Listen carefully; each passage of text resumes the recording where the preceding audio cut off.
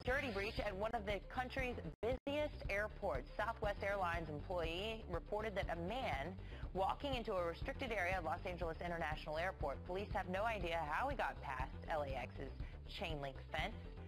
The man believed to be homeless, now undergoing a mental evaluation.